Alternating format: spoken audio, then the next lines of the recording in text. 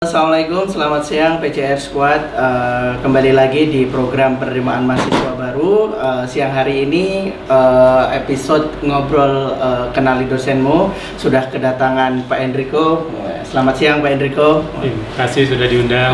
Eh, Ini suatu kebanggaan bagi kami semua di tim penerimaan mahasiswa baru Kedatangan seorang legendnya PCR. Pak, katanya, Pak. Karena di di komentar di Instagram, di Facebook yang diminta Pak Enrico, Pak Enrico dan lain sebagainya. Nah, siang hari ini kita eh, episode ketiga ini sudah alhamdulillah sudah eh, berhasil mendatangkan Pak Enrico. Terima kasih atas waktunya sekali lagi nih Pak. Di tengah kesibukan eh, di tengah pandemi ini juga eh, kita semuanya masih bisa untuk berkegiatan seperti itu. Jadi program kenali dosenmu ini kita buat di tim penerimaan mahasiswa baru tujuannya sebenarnya untuk mendekatkan eh, calon mahasiswa baru untuk mengenal lebih dosen-dosen yang ada di Politeknik Altek Riau seperti itu Pak. Iya.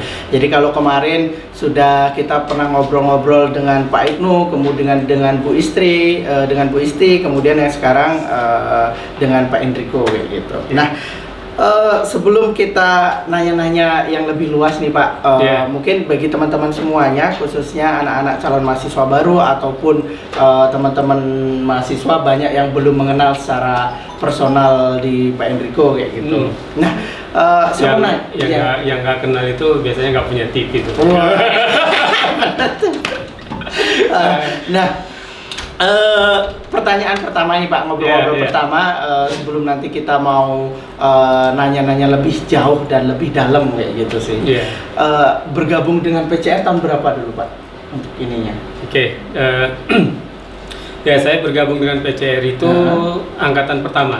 Angkatan Ya, pertama. bersama dengan Pak Dadang, direktur kita. Mm-mm. Jadi eh, ya kami sama-sama di hire itu eh, tanda tangan kontrak di Bandung tanggal 1 Juli tahun 2000. Tahun 2000. Iya. Eh, berarti seleksinya langsung di Bandung. Eh, mohon maaf, dulu waktu S1-nya kan di USU ya Pak ya untuk Benar, ininya. benar. Informasinya didapatkan langsung di ketika perkuliahan itu ketika sedang belajar di USU atau memang mendapatkan informasinya di Bandung. Ya, jadi saya seleksinya itu di Pekanbaru. Seleksinya Ya. di Pekanbaru. Jadi memang eh, keluarga kami itu sejak tahun 98 sudah pindah ke Pekanbaru. Mm-mm. Jadi Aslinya mana Pak dulu Pak? saya lahir besarnya itu di daerah perdagangan. Mm-mm. Eh, Sumatera mungkin Utara ya Pak Sumatera ya? Utara, Kabupaten Simalungun, Mhm. mungkin yang dekat itu dengan eh, Siantar. Hmm. Jadi saya habiskan waktu sampai dengan SMA di Mhm. sana. Terus Oh. kuliah di Medan, tamat kuliah tahun 2000. Mm-mm. Eh, karena keluarga ke sudah di Pekanbaru. Pekanbaru, maka saya pulangnya ke Pekanbaru. Hmm. Jadi ya eh, informasi penerimaan pegawainya didapat di Pekanbaru. Dan Dua tahun 2000 berarti waktu itu. tahun 2000, iya. Hmm, oke. Eh, tahun 2000 kemudian dapat eh, informasi untuk seleksi, kemudian mengikuti seleksinya di Bandung waktu itu berarti Pak. Eh. berarti ke Bandung ke Bandung lagi atau dari Pekanbaru eh, seleksi di Pekanbaru? Oke, jadi eh, PCR itu melakukan penerimaan pegawai di beberapa lokasi, di beberapa kota. Hmm. Ya, ada di Pekanbaru, ada di Bandung, Bandung. juga, ada di Surabaya juga, ada di ada di Solo bahkan eh, di Bangka Belitung juga. Jadi saya ngikut eh, proses seleksi yang di Pekanbaru pada waktu itu. Jadi Masih ingat nggak Pak berapa Iya. yang dulu mendaftar untuk eh, ikut seleksi di tahun 2000? Eh, se- se- bel- waktu itu saya nggak tahu, tapi Ah. belakangan ini kan kita lagi senang-senangnya bikin nulis ini ya, Ah, ah, nulis buku. Jadi eh, para apa namanya eh, founding father kita juga Pak Udin juga Mhm. sedang nulis buku. Jadi dari situ saya tahu bahwa waktu itu yang mendaftar itu ada 400-an orang. Eh, terus yang eh, lulus seleksi administrasi itu ada sekitar 200-an orang. Oke, berarti kelahiran eh, di penyambungan, kemudian Perdagangan. eh, perdagangan, sorry, Hmm. di perdagangan eh, besar dan tumbuh di sana ya untuk Iya. SMA-nya ya Pak ya, kemudian melanjutkan S1 di USU di Iya. Medan, balik ke Pekanbaru, baru eh, berarti eh, sekolah ke untuk S2 di Malaysia berarti setelah masuk di Politeknik berarti ya Pak ya? Iya, jadi salah satu ke apa namanya berkah bisa bergabung di PCR, PCR. menjadi dosen, Mhm. ya artinya bisa punya kesempatan untuk sekolah lagi. Eh, Pak Koko berapa bersaudara sih di keluarga Pak? Kami semuanya itu ada tujuh. Tujuh. Pak Koko ke Saya berapa? yang di tengah-tengah. Nomor yang di tengah-tengah. Iya. Oh, Hmm. Eh, ini saya beberapa kali juga saya kemarin coba tim coba kolek beberapa pertanyaan untuk Iya. Pak Enrico yang mau dititipkan kayak gitu. Waduh. Jadi eh, ini sebelum nanti kita akan bacakan pertanyaan-pertanyaan dari titipan itu Pak. Nah ini Iya, ada siap. beberapa yang eh, apa yang jadi penasaran bagi saya pribadi nih khususnya kurang lebih eh, mengenalkan baru saya baru bergabung 2014 kemudian Iya. mungkin baru ketemu di setelah bapak sekolah dari Prancis waktu itu yang untuk ini ya jadi eh, selain hobi badminton pak nah, ini kayaknya hampir semua olahraga volley juga diambil ini semua diambil selain hobi olahraga hobi di luar lain apa kira-kira pak ini ya Apa ya? Kalau dulu saya sukanya itu nonton. nonton nonton. Mm-mm. Sekarang juga senang, cuman jarang dilakukan gitu. Mungkin karena keterbatasan waktu. waktu oke Iya. berarti eh, selain olahraga dulu sukanya nonton kayak Iya. gitu sampai saat ini pun mungkin eh, sudah masih tapi berkurang untuk Iya, intensitas hanya untuk film-film tertentu lah yang kira-kira ini ya. Selain nonton saya penasaran musik favorit Pak Enrico seorang Pak Enrico ada nggak sih Pak ininya Pak atau diam-diam dengerin apa gitu kan dengerin Didi Kempot misalnya atau apa Eh, ya masa-masa sekolah saya nggak pandai main musik ya. Hmm. Kalau olahraga sih oke lah walaupun nggak main. Tapi kalau musik sama sekali saya nggak nggak pintar. Ah. Suruh nyanyi juga, waduh paling berat. Tapi saya waktu kuliah pernah jadi manajer eh, Band? ini band. Oh. Ya, jadi masih ingat nggak nama bandnya Pak di Eh, waktu kuliah di mana nih Pak di, di Medan, waktu di Ah. Medan. Hmm. Apa dulu namanya ya? Lupa saya. bawainnya lagu-lagu apa dulu Pak Eh, ini eh, indie. oh indie Iya, indie. luar biasa jadi Iya.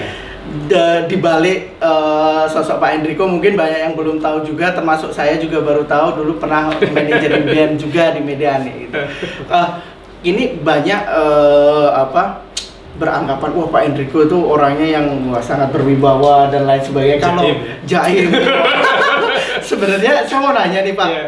Tipikal Pak Enrico sendiri menurut Bapak ini apa- gimana sih sosok orang yang mungkin kan di di hadapan kita aja wah sosok yang sangat eh, wibawanya sangat ini tapi kita nggak tahu nih sebenarnya sebenarnya di belakang itu sosok yang periang atau apa gitu atau humoris bahkan kita kan nggak tahu nih jadi kita pengen mengorek lebih Iya. dalam nih gitu sebenarnya Bapak ini tipikalnya seperti apa sih untuk ini ya Ya, sebenarnya ceceknya nanyanya ke orang lain kali ya. Nggak, karena kalau kalau Iya, mungkin iya. menurut saya juga wah ini Pak Iya. Enrico ini sangat Iya. disegani ini. Tapi Iya. kalau menurut Bapak sendiri tipikal Sa- Bapak ini gimana sih sebenarnya? sama, Ini? sama. Jadi eh, saya tahu orang menilai saya mungkin apa ya?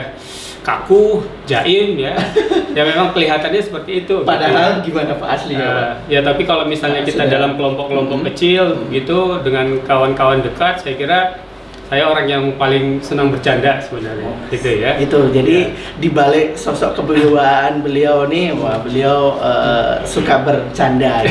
Terus ini kemarin saya dititipin banyak pertanyaan nih Pak. Salah Iya. satunya Iya. mengenai hobi Bapak olahraga. Iya, Wah gimana? Eh sebelum saya menanyakan yang tips olahraga ini, iya. eh, Pak Enrico kelahiran tahun berapa Pak? 76. 76 berarti saat ini umurnya sudah 40 eh, 76 44 berarti ya Pak ya? Ya, kurang lebih. Oh 44. Nah, Iya. tips menjaga supaya di umur 44 eh, kelihatan seperti 30-an karena Walah. wah, ini Pak Enrico awet muda, awet muda. Banyak yang nanya gitu nih Pak. Ini puasa-puasa Nah, bohong.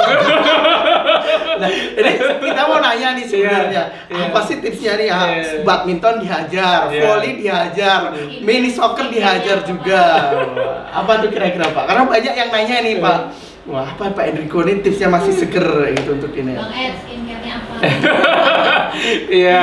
Apa ya tipsnya ya? Saya kira ya yang yang pertama mungkin ya berkah kesehatan dari Allah pastinya ya. Hmm. Eh, yang kedua ya olahraga itu Dari dulu emang sudah olahraga gitu, futsalan atau main bola waktu di kampus atau emang baru-baru ini aja untuk Iya. me- apa mengisi aktivitas waktu kayak gitu atau gimana? saya senang ikut-ikut olahraga itu. Mhm. Eh, rata-rata hampir semua olahraga saya bisa walaupun nggak mahir gitu ya. Mhm. Bisa. Mm-mm. kecuali basket yang sampai sekarang nggak bisa-bisa.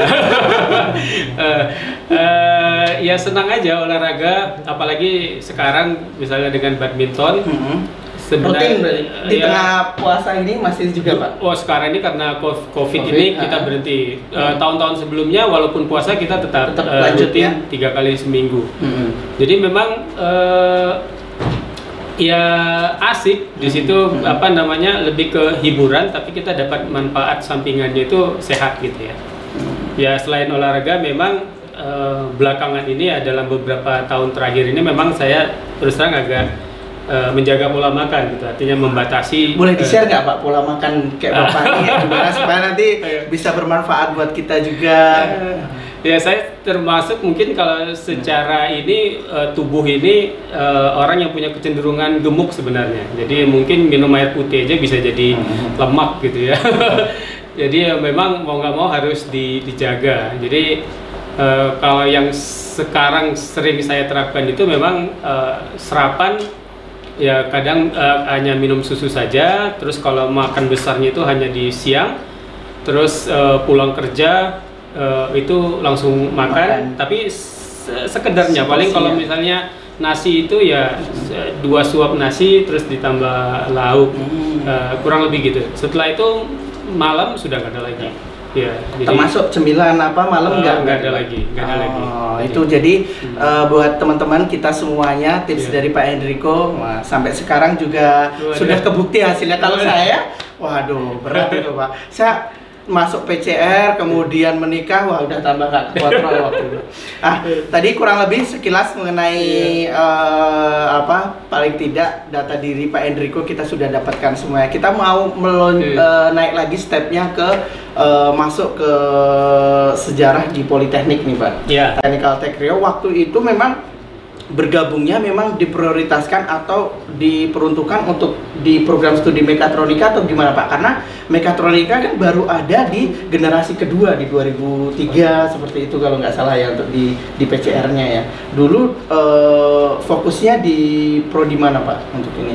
Ya, eh, kalau pada saat seleksi tentunya saya nggak nggak tahu Hmm. saya ini eh, mau jadi dosen apa gitu Hmm. karena saat itu informasinya sangat terbatas jadi Hmm. lowongan yang dibuka itu hanya ya dosen sama instruktur Hmm. ya saya daftar dosen ya setelah bergabung eh, ya baru saya tahu kalau PCR itu eh, ada tiga prodi telkom itu ya. elektronika sama eh, komputer. Komputer. Ya tentunya saya yang backgroundnya teknik mesin ya bertanya-tanya terus untuk Hmm. apa kami ini gitu ya. Hmm, benar. ya jadi eh, ternyata memang meskipun PCR tidak punya jurusan mesin tapi perlu diingat bahwa bangunan yang pertama kali itu selesai dibangun di PCR ini adalah mechanical workshop Ah, jadi mechanical workshop ya dan aktif- sebelum rektorat ini hadir, sebelum ya workshop sudah hadir, Iya. sudah jadi Pak. Iya. Jadi jadi itu dan aktivitas eh, apa kegiatan akademik itu yang pertama itu ya salah satunya di di workshop itu. Hmm. Ya kenapa di workshop? Karena kegiatan di sini belum siap. Oh. Jadi dulu eh, yang yang bidang studinya elektronika, telekomunikasi di workshop begitu selesai ISO ospek mereka masuk eh, eh, ininya ke Studinya di workshop ya, berarti matrikulasinya di workshop Hmm. jadi mereka selama kurang lebih hampir ya dua bulan itu praktikum di sana Hmm. Terus saya mau nanya nih Pak, Hmm. Eh, di Politeknikal Tech Rio sudah hampir 20 tahun, mungkin hampir sama dengan umurnya PCR, Yeah. gitu. Mulai dari pudir 2, kemudian jadi kepala unit, kepala bagian, bahkan sampai direktur gitu. Kemarin Hmm. Bapak masih ingat nggak dilantik tahun eh, tanggal berapa, bulan apa, tahun berapa? waduh kok tanggal dilantik acaranya saya tidak tahu tapi Nah. kalau SK pengangkatannya itu efektif eh, berlakunya itu 1 Agustus tahun 1 Agustus 2014 Oh, ya. oke. Hmm. Karena eh, saya kemarin coba di Facebook saya muncul beberapa ini ternyata serah terimanya itu di 20 Agustus Pak waktu itu Pak. oh ya 20 Agustus dua periode. Terus gimana Pak rasanya setelah perbedaan menjabat sebagai diamanahkan sebagai direktur, kemudian sekarang pure aktif eh, apalagi sekarang aktif menulis dan lain sebagainya, conference di mana-mana gitu. Iya. Lebih lebih gimana setelah setelah tidak diberi apa, setelah tidak menjabat kayak gitu untuk ini ya, Pak. yang yang jelas lebih menyenangkan ya setelah tidak menjabat gitu ya. Seberapa pressure kah uh, jadi Oke. direktur Politeknik Caltech Iya. Riau, Pak? Eh, awal-awal tentunya ini apa namanya ya eh, jadi direktur Mhm. eh, saya bel- apa nama belum lagi wisuda sudah diangkat menjadi direktur ya Mhm. jadi pulang sekolah langsung diamanakan eh, kampus yang besar ini tentunya eh, ada kekhawatiran ada ketakutan tidak mampu menjalankan dengan baik gitu ya Eh, tapi alhamdulillah beriring waktu semuanya bisa di- dikelola dengan baik dan dalam perjalanannya ya eh, tekanan itu nggak sebenarnya nggak nggak terlalu besar lah ya Hmm. apalagi kita ini dengan budaya yang begitu baik semua orang contribute Hmm. ya sehingga eh, beban itu bisa di share ya dan ya sistem semi militer di PCR ini sangat menguntungkan. Membantu juga sangat membantu ya, ya. Eh, karena pimpinan itu punya otoritas yang eh, cukup ya punya instrumen yang cukup untuk eh, menugaskan pegawai ya. Kalau selama dua periode ya. eh, yang boleh dibilang hal terberat selama menjalani amanah tersebut apa, Pak? hal terberat? Iya. Menjadi direktur Politeknik Caltech Riau gitu. eh, eh, kayaknya enggak maksudnya tidak ada sesuatu yang begitu sangat eh, Membebani. memberatkan mem- apa namanya se- sesuatu yang luar biasa sehingga itu menjadi sesuatu yang sangat berat Hmm. itu dia Kalau misalnya eh, ini Pak ditanya lagi kayak gitu, Iya. Pak Hendriko, saya tugaskan untuk menjadi direktur lagi, gimana pendapat Bapak? untung yang nanya ini untung yang nanya ini bukan ketua kalau- yayasan kalau misalnya nih ya, jadi kalau misalnya Iya, iya. ada permintaan Iya. tersebut gitu, Iya. karena kan Iya. eh, saya baca tulisan Bapak juga jabatan di PCR yang Iya. apa yang soal Deddy Kobuster juga itu kan, karena di sini kan aneh gitu kan, jadi Iya. jabatan bukan kita yang meminta atau apa ya, Iya. tapi ya itu pemberian dan Iya, amanah iya. kayak gitu. Kalau misalnya Bapak di tiba-tiba suatu saat nanti diberikan amanah itu lagi gimana Pak untuk ini? Pendapat Bapak gimana komentar? Ya saya sih kita ya sebagai pegawai di sini kalau memang itu ditugaskan ya harus dan menurut saya eh, alangkah eh, tidak baiknya kalau misalnya saya menolak misalnya Hmm. karena itu akan memberi contoh atau presiden yang kurang baik gitu. Karena kalau misalnya katakanlah saya ditugaskan menolak artinya nanti orang lain itu akan bisa saja menolak untuk ditugaskan. Jadi walaupun eh, jabatan itu bukan sesuatu yang eh, menyenangkan atau diinginkan, ya kalau itu dipercayakan ya ya mau nggak mau harus dijalankan. Gitu. Oke. Hmm. Oke, kita akan bacakan komen-komentar dan pertanyaan nih Pak yang Ya. langsung di live Instagram. Wah, Ya. yang pertama kita mau bacakan yang mana dulu tim? Dari Titis. Wah, Titis ini mahasiswa juga dulu ya Pak ya.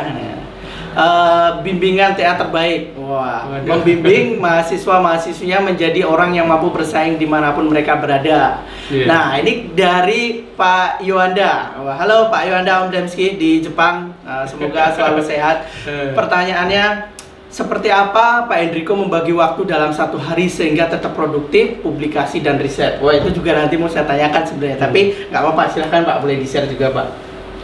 membagi waktu Hmm. ya Eh, saya sih prinsipnya bekerja eh, sepe- se- seefektif mungkin ya Hmm. dan tidak juga terlalu berlebihan ya Eh, kehidupan saya sehari-hari ya eh, pagi gitu ya eh, bekerja sampai jam eh, apa namanya waktu kerja jam 5 setengah Hmm. enam ya kalau jadwalnya badminton sampai setengah lima gitu Eh, terus malam malam itu eh, jarang saya gunakan untuk eh, Bekerja. bekerja yang inilah ya kecuali ada sesuatu yang memang harus dilakukan eh, segera Eh, normal sehari-hari jam tidur saya itu jam 9 biasanya kalau udah jam 9 itu saya sudah sudah entah di mana-mana nah, jadi begitu habis sholat isya itu sebenarnya waktunya sudah untuk siap-siap tidur Oke. gitu. Pertanyaan berikutnya nih Pak, Iya. nyambung soal tadi. Iya. Ibu protes nggak sih Pak di tengah padatnya, apalagi dulu waktu menjabat sebagai direktur kayak gitu kan, waktunya terbagi kadang Sabtu harus masuk, kadang Minggu Iya. harus ngadirin kegiatan. Iya. Ketika itu sempat diprotes ibu nggak atau anak-anak eh, bapak nggak? Oh, Iya. untuk ini. Pak kita mana nih waktu untuk saya untuk ini ya gitu. Ada nggak Pak?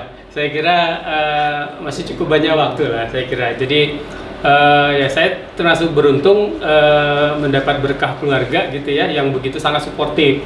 Jadi saya uh, kalau tidak support dari keluarga mungkin tidak banyak hal yang bisa saya uh, apa namanya lakukan dan hasilkan. Jadi ya secara bercanda sih ada aja protes ini sibuk kerja terus kerja terus gitu kan tapi oh, ada juga ya berarti ya, ya? ada Oh. ada Uh, Oke, eh, pertanyaan berikutnya dari Iya. Hidayatullah. Cerita dong Pak eh, tips sukses Pak Enrico kuliah di, eh, di luar negeri. Berarti ada dua kali beliau eh, melanjutkan sekolah di luar negeri. Yang pertama di UTM ya Pak ya, di Iya. Malaysia. Kemudian yang kedua eh, S3-nya di Prancis waktu itu ya. Iya. Nah, gimana Pak tips ininya Pak? Karena beda kultur, beda ini juga, Iya. makanannya juga beda. ya eh, tips eh, terus terang niat untuk sekolah lagi itu muncul pada saat saya sudah bergabung dengan PCR karena jadi dosen eh, saya termasuk orang yang ini ya eh, tidak ingin menjadi apa eh, ordinary people gitu. Atau orang yang ya biasa-biasa saja gitu ininya. Jadi eh, kalau misalnya saya do- jadi dosen ya harus eh, menjadi sesuatu yang berbeda gitu. Sehingga eh, belakangan ya niat untuk sekolah lagi bahkan kalau bisa ya tidak hanya di Indonesia di luar negeri. Jadi semangat itu yang terus saya maintain walaupun kesempatan itu belum tentu bisa datang setiap saat. Jadi memang kalau mau keluar negeri ya memang salah satu yang yang saya jaga itu adalah kemampuan bahasa Inggris. Hmm. Jadi itu disiapkan terus, eh, dijaga terus. Eh, pada saat dulu saya mau sekolah itu ya memang sertifikat TOEFL itu ready, available, anytime. Jadi kalau misalnya tiba-tiba mendadak ada yang ngajak, ayo sekolah luar negeri, ini sertifikat TOEFL-nya. Jadi sudah siap gitu. Hmm. Gitu. Itu tips buat Iya. kita semuanya yang nanti mau melanjutkan uh, studi berikutnya ke luar negeri. Ngomong-ngomong Pak, Iya. uh, waktu di UTM itu tahun berapa Pak? Kalau boleh uh, bisa di share Pak untuk ini. Saya kuliah di UTM itu eh, kurang lebih Januari tahun 2007 mulainya. 2007. Terus selesainya itu Februari 2008. Berarti baru lanjut lagi untuk S3-nya di tahun selesai di 2015 eh, 2008. 2008. ha. Terus lanjut lagi S3-nya 2010. 2010 Ya. balik ke balik sebentar 2010 Bapak balik ke sini 2014. 2014 ya waktu Iya, itu ya. iya. Berarti duluan Edi masuk ya sebentar. Oh iya iya benar benar benar benar. Eh, saya pertama kali ketemu Pak Endrico waktu kita buka puasa bersama di GSG Pak. Waktu Oh, gitu, itu, Pak. Dikenalkan sama eh, Pak Ananda. Mas. itu. Jadi tipsnya seperti itu bahasa Inggris disiapkan kemudian eh, sertifikat TOEFL dan lain sebagainya selalu eh, mau dalam tanda kutip ya eh, masih berlaku kayak gitu Ya, untuk ini ya. ya. Eh, kita bacakan lagi satu lagi pertanyaan eh, dari Aziz Basten. Wah. Motivasi untuk para mahasiswa baru eh, untuk berjuang di PCR kayak gitu. Waduh. Apa Pak kalau boleh di share ke generasi milenial Iya. Pak? Iya, saya kalau di di kelas sih eh, beberapa kali saya selalu sampaikan ya. Jadi eh, berhasil ya saya eh, kalau saya kan sedang lewatin S1, S2 dan S3 gitu ya. Jadi kalau eh, ininya untuk bisa berhasil itu memang ada ada rumusnya. Jadi eh, ya hasil atau result itu sama dengan A dikali U dikali Q kalau rumus saya. Jadi Apa itu, Pak? Jadi kalau A itu adalah anugerah ya. Oh, A Anugerah. anugerah. Jadi ada orang yang memang punya anugerah itu pintar, Mhm. kaya, punya fasilitas. Tapi kan Mhm. ada yang tidak gitu ya. Mm-mm.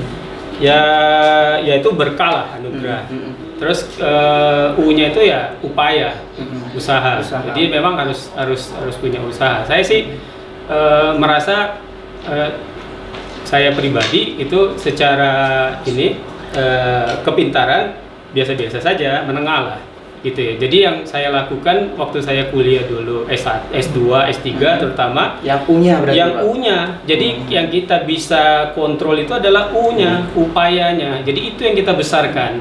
Ya. Terus yang terakhir itu Q itu ya itu qadarullah ya. Jadi Hmm. takdir. Itu bukan wewenang kita. Jadi ada satu yang yang memang dalam kendali kita, upaya, usaha itu aja yang kita eh, kuatkan gitu. Oke, itu buat teman-teman eh, mahasiswa baru yang mau ber- bergabung eh, kurang lebih dari Pak Enrico tadi tipsnya. Eh, saya mau beralih ke ini Pak. Belakang Ya. ini kan di apa di apa di pandemi pas lagi pandemi ini kan ba- Ya. banyak apalagi mau menjelang 20 tahunnya PCR Ya. banyak tulisan Enrico untuk memotivasi teman-teman semua sehingga banyak bermunculan artikel-artikel Iya. baru. Cuman saya eh, penasaran nih Pak. Ya. Waktu itu kan Bapak diamanahkan sebagai ketua eh, apa KRI ya. Ya. Nah di sini saya mau tanya, emang seberapa? Karena di situ saya sempat baca eh, challenge dari Akamsi anak kampung sini kan banyak Iya. juga nih Pak dari preman-preman ini. emang seberapa mengganggukah waktu itu untuk mempersiapkan Iya. kontes robot itu Pak? Oh iya, jadi sebenarnya eh, gangguan itu sudah lama sih ada, saya Mhm. kira. Jadi Mhm. sejak proses pembangunan Mhm. BCR itu ada, Mhm. dan memang ya eh, di Rumba ini termasuk daerah yang tanda kutip agak ditakutin bagi para, Para penjual barang terutama Oh. ya. Tapi saya kira gak usah kita bahas. oke, oke.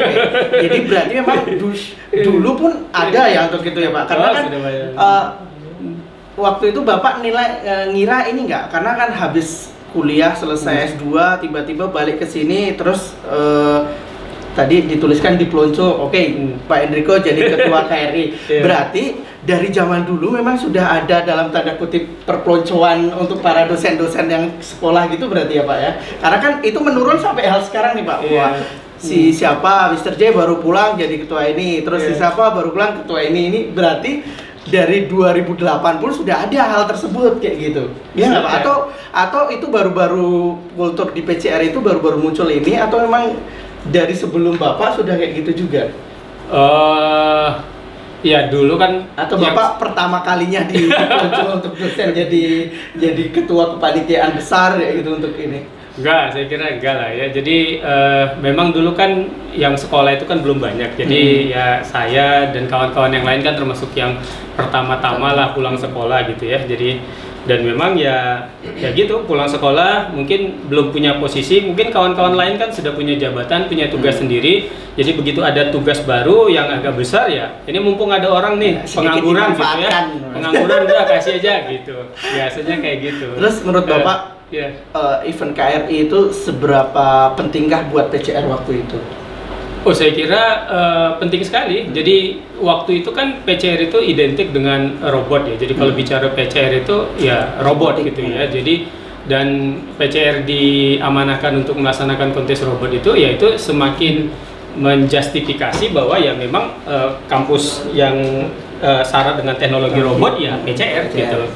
Dan itu sebenarnya bukan hanya untuk lingkungan kita lokal, tapi itu berdampak secara nasional. Ya, jadi nama baik kita itu di, dicatat di, di di pusat sana gitu. Hmm.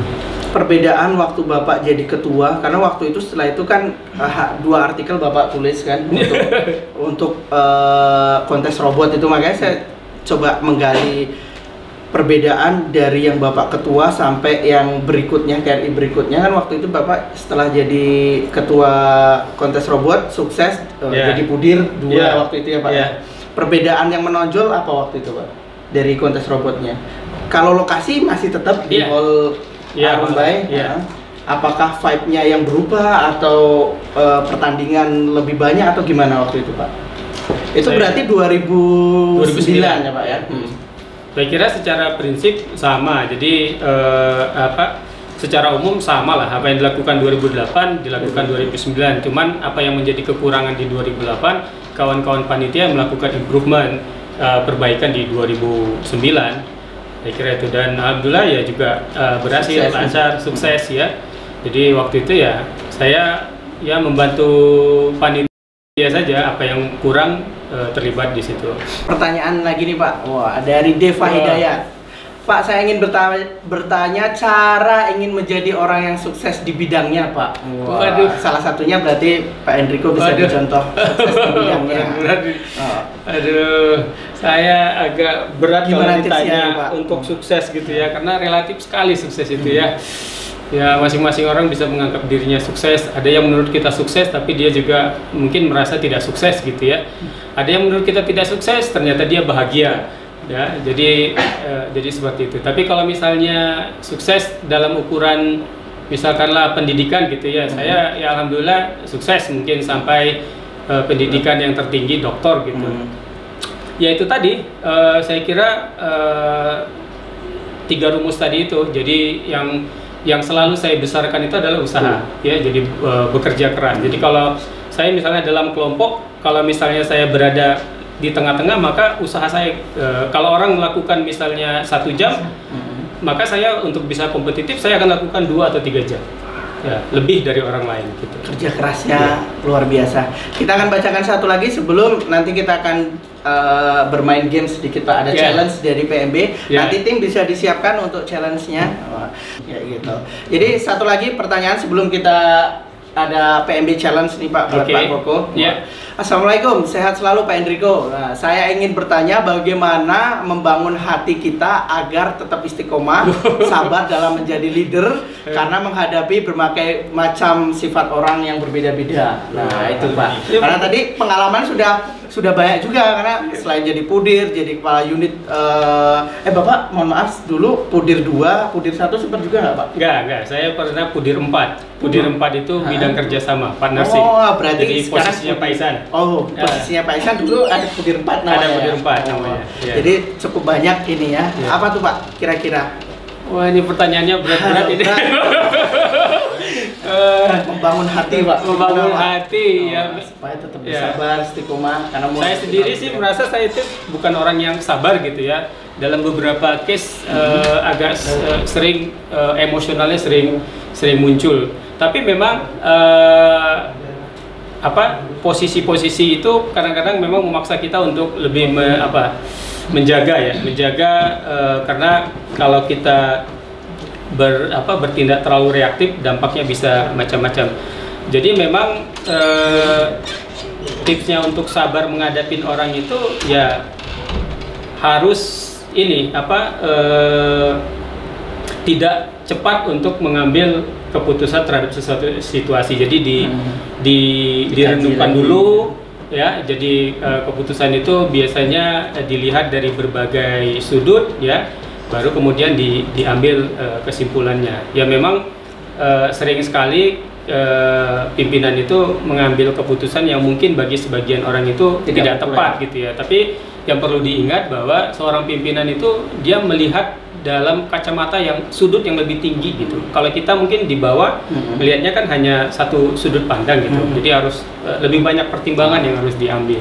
Oke. Seperti itu. Itu tipsnya tadi Ya. eh, lebih banyak pertimbangan. Boleh kita akan masuk di PMB challenge. Nah, ini sebenarnya eh, kita siapkan khusus untuk mulai di episode ketiga ini Pak. Saya Ya. menyiapkan beberapa eh, pertanyaan sederhana sih untuk Pak Enrico bisa jawab. Wah, hadiahnya untuk saya berarti. Hadiahnya nanti kita kasih juga buat Pak Enrico. Waduh. Weh. Ada souvenir dari boleh tim Aduh. Pak Juli bisa dikasihkan. Nah, boleh nanti jawabannya ditulis di sini Pak. Waduh. Saya sudah menyiapkan beberapa pertanyaan sembari nanti eh, kita masih mengumpulkan eh, pertanyaan-pertanyaan dari teman-teman semuanya. Ya. Oke di PMB Challenge kali ini pertanyaannya pertama Pak. Ya. Ini sebenarnya berhubungan dengan kita semua sehari-hari. Ya. Gitu. Oke, sip. Pertanyaan pertama, website penerimaan mahasiswa baru Politeknik Kaltek Riau. Wah, pmb.ec. Boleh ditulis Oh, Pak? gitu. Oh, aduh. Boleh ditulis, nanti kita lihatkan ke teman-teman semuanya. Sip, semua. pmb.pcr.ac.id. Oke, berarti pertanyaan pertama benar. Pertanyaan boleh dibantu untuk eh, penghapusnya? Pertanyaan kedua, Pak. Ya.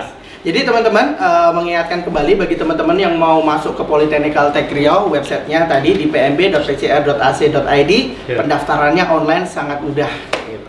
Oke, per sip. Hmm. Makasih. Pertanyaan berikutnya. Ya. Wah. Wah, Ini bahaya mudah-mudah kalau nih Pak. ini nggak ada. Harusnya diberi dulu tadi nggak ada. Ini semuanya serba kejutan. Jadi yang, yang menjadi bintang tamu di eh, program ini semuanya serba kejutan. Oke, pertanyaan kedua. Ya. Berapa biaya SPP untuk D4 Polytechnical Tech Riau saat ini? Biaya SPP. SPP-nya. SPP-nya. Waduh, mudah-mudahan nggak salah ya. Kalau salah pun nggak apa-apa, Pak. Kan ini oh, serba ini kan challenge nih, Pak. Gitu ya. Soalnya saya udah nggak ikutan lagi untuk Ah. memutuskannya. SPP ya. Oke, sip. Benar salah nih. 6 juta 500. Benar pertanyaan kedua. Waduh. Pertanyaan ketiga. Iya. Oh. Karena sekarang domisilinya di mekatronika, ini ada hubung-hubungannya dengan teknik eh, mekatronika nih, Pak. Ya, Nah. ya. Masa berlaku akreditasi A untuk mekatronika tahun berapa, Pak? Teng teng teng teng teng teng teng.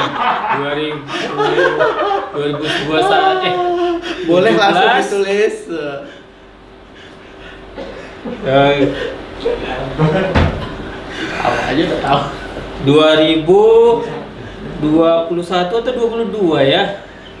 Eh 21 aja lah ya. Eh 2022. Oke. 2022. Kalau jawabannya saya cek Pak di Iya. eh, sertifikat di Iya. ininya 2023 Pak. 2003 ya?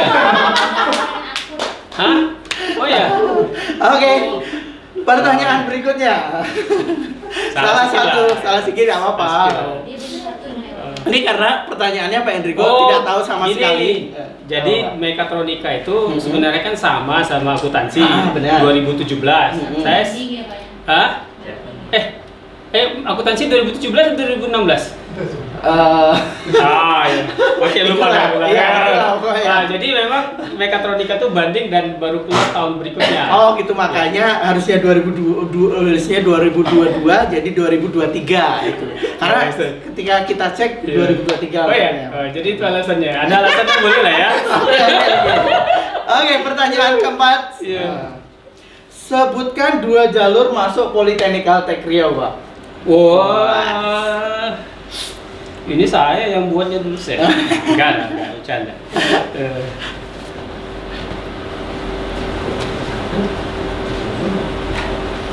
Oke, boleh dilihatkan? Sip, yang pertama PSUD penjaringan siswa unggul daerah, yang kedua UMPCR. Luar biasa, benar pertanyaan keempat. Pertanyaan kelima. Oh, ini pertanyaan terakhir nih, Pak. Ya. Sebutkan tagline PMB 2020. PCR. Nah, nah, nah, nah. Wah. Yang baru ya? Yang baru. Ya.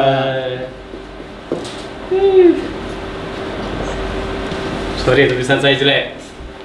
Oke, PCR semangat pasti benar. Berarti dari lima pertanyaan yang kita siapkan dadakan tersebut hampir semua dijawab kecuali yang satu tadi mengenai akreditasi eh, mekatronika. Ini saya mau nyinggung-nyinggung sedikit boleh? Wah. Mau nyinggung-nyinggung sedikit mengenai mekatronika nih Pak.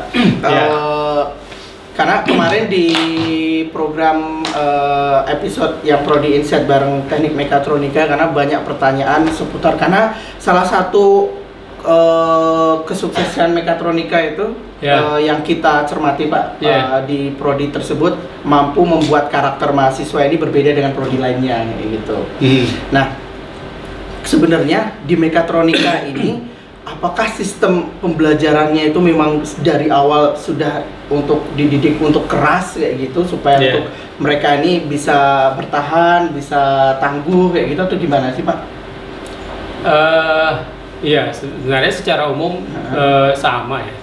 Cuman kan eh, dulu itu eh, mekatronika itu bergabung sudah identik sama seperti teknik mesin sebenarnya karena muatan mesinnya itu besar. Ya teknik mesin itu doktrinnya itu cenderung ya kalau bisa apa agak sedikit keras dan perkasa gitu, gagah gitu ya. Sehingga eh, memang di dalam itu prosesnya agak sedikit lebih lebih keras, lebih disiplin mungkin dibandingkan dengan prodi-prodi lainnya. Tapi memang karakteristiknya kan memang tiap prodi itu berbeda-beda. Beda. Ada yang memang kayak komputer itu kan ya cenderungnya kan eh, agak halus, lembut ya. Kalau misalnya mekatronika, mesin itu kan banyak aktivitas dilakukan di workshop yang memang suasananya itu udah suasana industri gitu. Sehingga eh, treatmentnya itu harus harus sedikit berbeda gitu. Oke. Apakah pengalaman eh, dalam tanda kutip treatment tersebut itu banyak diadopsi di waktu eh, apa ngambil mesin di S1 waktu itu atau gimana Pak? Ada Eh, ada perbedaan nggak dengan yang dulu waktu Bapak kuliah di apa di Teknik mesin. Nah, di teknik Iya. mesin. eh, ya Atau di sini lebih atau di sini Iya. kulturnya lebih lebih keras lagi atau gimana gitu atau gimana Pak? ya kalau dari sisi eh, proses eh, akademiknya, kultur Hmm, akademiknya ya memang ya di sini lebih lebih lebih baik gitu Padat, ya, lebih, lebih padat gitu ya, disiplin. lebih disiplin, lebih terarah. Eh, ya kalau kami dulu sebelum mulai mengajar Hmm. itu kan di, yang bagian teknik mesin saya dan Pak Anur itu kan di trainingnya di Admi Solo. Ya jadi Admi Solo itu eh, satu kampus yang satu atap dengan industri gitu. Jadi ya memang sistemnya itu udah sistem industri. Sistem itu yang coba kami adopt eh, ke ke PCR, tapi tentunya tidak serta merta sama gitu dengan apalah modifikasi gitu. Hmm. Jadi disiplinnya dapat, tapi culture PCR-nya itu masuk gitu. Hmm. Oke, kita akan bacakan lagi pertanyaan eh, boleh kita cari satu pertanyaan lagi. Eh yang atas boleh Pak, yang atas Pak. Ah. Nah, dari Ma Manwardip 22. Assalamualaikum Pak. Bagaimana menurut Bapak peluang untuk alumni yang sudah melanjutkan kuliah S2 menjadi dosen di PCR, khususnya jurusan mekatronika, mesin dan listrik? Gimana menurut eh, Pak Enrico soal tanggapan ini, Pak? Peluang Wah. tersebut, Pak. ya peluangnya apa namanya kalau PCR ya Hmm. yang saya tahu masa apa namanya ya dari dulu sampai sekarang juga masih ya Hmm. kita sih untuk dosen-dosen itu senang kalau misalnya yang masuk itu adalah alumni ya jadi eh, kan banyak juga eh, kawan-kawan alumni yang jadi dosen di Dosen. sini karena eh, kalau alumni itu secara budayanya sudah terbentuk. Kita nggak perlu bentuk lagi. Jadi sudah tahu apa yang harus dilakukan bagaimana sistem pendidikannya itu sudah tahu. Jadi relatif lebih mudah. Tapi memang ya tidak harus serta merta dari alumni juga semuanya. Karena di PCR ini kita juga mengadopsi prinsip eh, ini diversity. Karena jangan sampai nanti ya budayanya itu itu saja. Kita harus eh, PCR ini juga di- dibangun dulu dari berbagai dosen dari berbagai lulusan sehingga eh, kita bentuk eh, budaya budaya PCR sendiri gitu. Oke, ngomong-ngomongin budaya PCR nih Pak, Iya. sebenarnya yang membedakan karena dari awal PCR dibentuk eh, salah satunya Pak Enrico sudah bergabung di sini, jadi Iya. 20 tahun ini eh, paling tidak secara langsung mengamati dan merasakan perkembangan PCR gitu. Nah, Iya. perbedaan sebenarnya perbedaan yang mencolok eh, waktu itu ketika Bapak bergabung atau yang dulu dengan yang sekarang apa sih Pak untuk yang di PCR? Apa pun itu Pak, mulai dari kulturnya, mulai dari yang lain-lainnya. Iya. Kalau dulu eh, pertama bergabung, pertama mulai eh, kerja jadi dosen di sini, PCR ini sangat sangat unik, sangat berbeda. Terutama bagi bagi dosen ya. Jadi kalau dulu dos dosen itu mungkin sekarang masih banyak di banyak kampus ya dosen itu tidak tetap di kampus berada di kampus. Hmm. Tapi PCR menjalankan eh, aturan di mana dosen itu harus full time di di kampus. Dan itu itu sangat berbeda gitu ya. Eh, tapi itu bagi mahasiswa sangat menguntungkan karena saya juga dulu sebagai mahasiswa itu agak merepotkan kalau misalnya Mencari dosen. mencari dosen harus datang ke mana-mana, Hmm. mencari ke mana-mana, ya jadi itu itu sangat merepotkan. Tapi kalau di PCR ini eh, tidak, ya dosennya ada di kampus dan bahkan eh, sebagian besar itu eh, tidak ingin untuk melakukan eh, aktivitas di di rumah gitu ya, semuanya diselesaikan di di kampus. PCR. Iya. Nah, eh, kalau eh, saya nanya ke bapak kayak gitu kan, Hmm. pesan buat kita semuanya karena mungkin kayak misalnya saya baru enam tahun bergabung dengan Politeknik, kemudian teman-teman semua yang relatif baru-baru ini kayak gitu, Iya. pesan untuk kami kami semua yang karena bapak kan sudah legend untuk di PCR ya kan? legend dan berwibawa ya. Kalau untuk kami semua staf dosen-dosen muda yang ada di sini apa kira-kira apa yang mau Pak Enrico sampaikan ke kita semuanya kayak gitu Kalau saya sih pesannya apa pun posisi kita, eh, lakukan aja apa yang terbaik gitu. Bukan karena kita diperintah oleh pimpinan bukan karena kita diawasin pimpinan tapi eh, yakin aja eh, hal baik yang kita lakukan walaupun mu- mungkin tidak dihargai langsung yakinlah itu akan memberi manfaat eh, ke kita baik itu langsung maupun tidak langsung. Nah. ya jadi kita kerja baik itu bukan karena karena diawasin pimpinan tapi memang itu eh, apa namanya memang itu keinginan kita gitu Oke, eh, pertanyaan berikutnya, wah ini banyak sekali Iya. yang bertanya nih Pak. Iya. Tidak terasa sudah 45 menit kita eh, live di sini. Eh, ini dari Pak Sugeng Purwantoro. Wah. kayak kenal ini Wah kenal ya. Iya, kayaknya. iya. Beliau Iya. senior juga nih kayaknya. Iya. Nah, kayak kenal orangnya saya bisa cerita dong Pak mengenai buku yang baru dibuat, kemungkinan ada press conference sudah bukunya juga. Nah, Terus Iya. bagaimana perjuangan di S3? Tadi sedikit sebenarnya Iya. sudah sudah dibahas juga. Wah, ini Iya. mungkin telat nih ngikut Iya. live-nya nih. Iya. Gimana Pak tentang buku? buku ya ya ya ini sebenarnya eh, ya saya kan baru menyelesaikan nulis buku nih semi semi autobiografi lah saya kira gitu ya. Jadi perjalanan mulai dari tamat kuliah gabung PCR sampai eh, menyelesaikan studi S3 Hmm. doktor. Ya bukunya sudah selesai, sekarang masuk ke penerbit, sedang dalam uh, apa namanya, ya diedit oleh penerbit untuk nanti bisa diterbitkan, gitu kurang lebih. Itu perkembangannya eh, Iya. Pak Sugeng eh, Iya. informasi saat ini seperti itu. Nah, ini eh, kurang lebih 10-15 menit lagi Pak untuk kegiatan ini Se- sebelum nanti kita akan eh, mengumpulkan beberapa pertanyaan lagi nih Pak. Ya, Saya mau nanya ke personal Bapak nih ya, sebenarnya. Di balik eh, dalam tanda kutip kesempurnaan Pak Hendriko. Waduh. Wah, itu kan di belum balik boleh nih. di balik Waduh. dalam tanda kutip menurut Bapak Ya, hal yang membuat Pak Hendriko nggak pede ini ada nggak sih Pak? Apa itu Pak kalau boleh tahu Pak? Oh, Karena hampir semua dari atas sampai ini Iya. semua ini kan kayaknya sudah perfect nih. Kalau menurut Bapak apa sih yang Oh, membuat banyak. Bapak nggak percaya diri itu? Ada nggak? banyak sekali. Saya itu termasuk Hmm. orang yang eh, punya apa namanya kurang pandai dalam public speaking. Hmm. Ya, jadi kalau disuruh pidato itu, waduh, itu salah satu yang membuat saya berat dulu untuk menjadi direktur gitu. Karena udah kebayang ini harus Sambutan harus selalu sa- sambutan, sambutan gitu ya.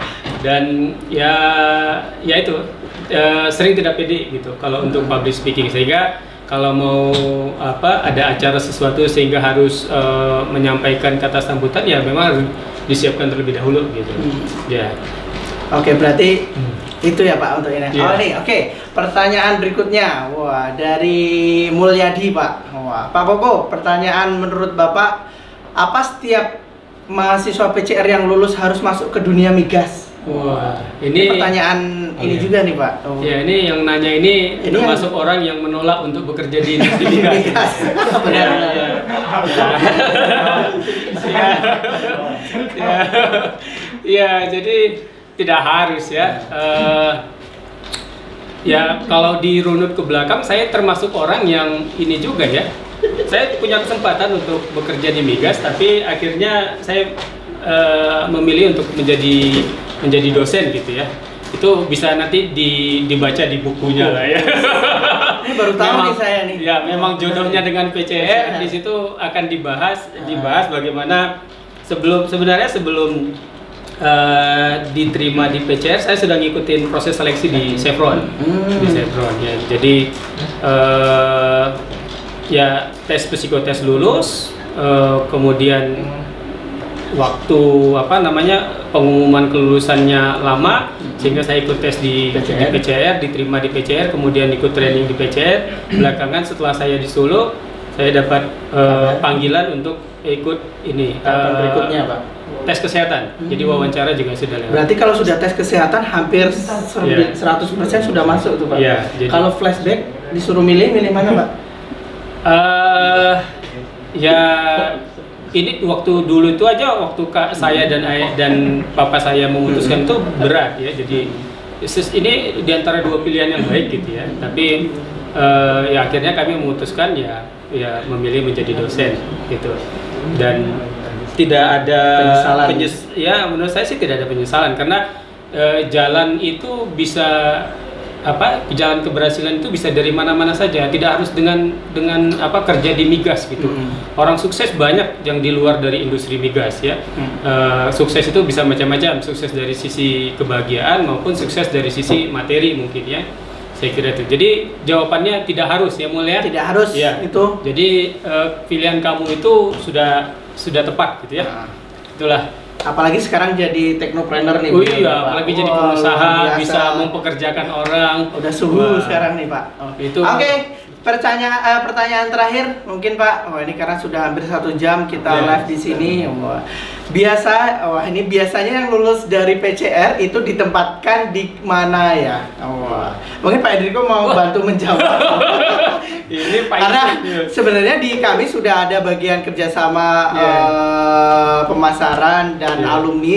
Di situ juga ada websitenya juga. Iya. Eh, sebenarnya kalau di Politeknik Caltech hampir semua bidang industri baik dari oil dan gas, manufaktur dan lain sebagainya alumni kita tersebar gitu. Jadi nanti bisa cek juga di eh, website kita di eh, nanti di Politeknik di website PCR juga ada linknya. Nanti di situ bisa dilihat lebih jauh kayak gitu untuk Iya. ini ya. Jadi memang mungkin eh, saya ini di PCR sih tidak ada men- menggaransi bahwa tamat langsung ditempatkan di mana ya. Jadi sama seperti eh, kampus pada umumnya. Tapi yang perlu dilihat itu hasil tracer study di, yang dilakukan PCR setiap tahun itu kan bisa membuktikan. Jadi sekitar berapa persen di? Eh, 85 persen itu eh, dapat diterima bekerja dalam waktu kurang dari enam bulan. bulan. Ya, artinya kita tidak menggaransi pekerjaan, tapi bukti menunjukkan bahwa lulusan PCR itu kompetitif. Nah, terakhir Pak Enrico karena tadi di Prancis juga S3-nya di Prancis, wah berarti bahasa Prancisnya lancar berarti Pak. Enggak. Wah, Jadi terakhir ajakan masuk Politeknik Caltech Riau pakai bahasa Prancis Pak. Waduh, ini enggak enggak ada Gimana nih, Pak? persiapan ini. Ngomong sama, sama-sama. Trebiang, trebiang. Gimana Pak? Ini Pak, ajakan bahasa Prancis, eh ajakan masuk Politeknik Caltech Riau pakai bahasa Prancis. Waduh. Ah. Wah, bonjour tout le monde. Ya. Euh, je suis Henrico. Je viens euh, euh, joindre avec nous à Polytechnique Caltech Riau. Oh, Semoga betul ya. Oke Pak Enrico, terima kasih bagi teman-teman semuanya. Tetap di rumah aja. Kalau misalnya mau masuk ke Politeknik Caltech Riau, kita saat ini Pak Enrico ada jalur masuk khusus ini Pak. Iya, iya. Jalur masuk khusus ini kita eh, adopsi dari penerimaan mahasiswa baru penjaringan siswa unggul daerah. Tidak ada ujiannya, jadi kita hanya mereview berdasarkan nilai raport semester 5 saja. Iya. Di jalur ini juga kita mengeluarkan ada dua jalur eh, khusus lagi, yaitu Iya. jalur fast track dan jalur prestasi nasional kayak gitu. Nanti langsung buka aja di website penerimaan mahasiswa baru Politeknik Caltech Riau di pmb.pcr.ac.id. Sekali lagi terima kasih Pak Sama-sama. atas waktunya Ya. eh, bagi teman-teman. Eh, itu nanti kalau misalnya ada hal-hal yang mau ditanyakan lebih terkait Politeknik Caltech Riau apa pun nanti bisa tanya ke sosial medianya Politeknik Caltech Riau atau bisa WhatsApp ke eh, nomor penerimaan mahasiswa baru Politeknik Caltech Riau. Sekian dari kami, terima kasih. Selamat siang. Wassalamualaikum warahmatullahi wabarakatuh. Wah,